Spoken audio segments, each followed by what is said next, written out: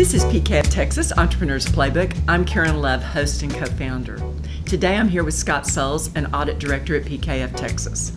We'd like to welcome you back to the Playbook, Scott.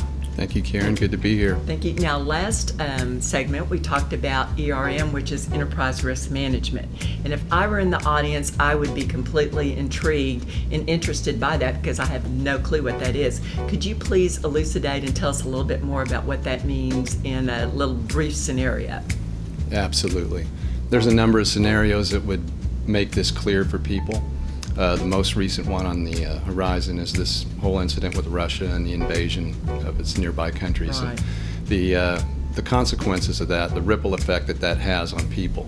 So, with enterprise risk management, essentially what you're doing is you're plotting on a big radar screen, sort of figuratively speaking, uh, all of the different risks that are out there for your organization in many pockets of the organization. Not only there, but you know, regulatory, you have them in accounting, operations, etc. And you're trying to plot these out early and often, Right. and keep monitoring them and s- establish what your risks are, as well as your mitigation strategies around those risks. And Be you help somebody do that.